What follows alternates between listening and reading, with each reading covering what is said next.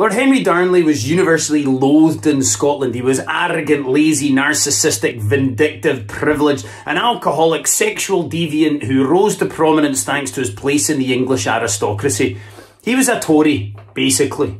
But when Darnley first arrived at the scene, he was actually well liked and popular. It took a while for his true nature to reveal itself and for everyone to see how much of a massive prick he really was. He was kind of like Nick Clegg, I suppose.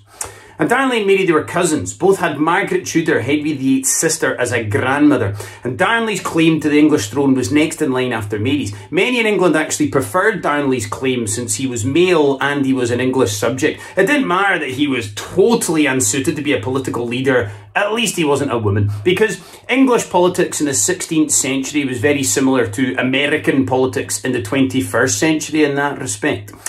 And like most great true love cousin stories, theirs begins in Fife. Uh, the two first met in the tiny wee coastal village of Wemyss, and on seeing Darnley for the first time, Mary, she commented that he was the lustiest, most well-proportioned lang man in Scotland, which is actually what I have in my Tinder bio. Mary, she showered Darnley with land, money and titles like he was a Tory party donor. He went from Lord Darnley to Earl of Ross to Duke of Albany, a spectacular rise to prominence even greater than Rylan going from X Factor auditions to presenting the One Show. Heralds declared at the Mercat Cross in Edinburgh that Darnley and Mary were to be married and that Darnley was to be made King of Scotland. Now, Mary had no, not consulted the Parliament about this or waited for papal approval from the Pope to marry your cousin. You had to get permission from the Pope if you wanted to marry your cousin. That's what the white smoke is all about. All they folk waiting outside of the Vatican, they're just horny cousins desperate to shag each other.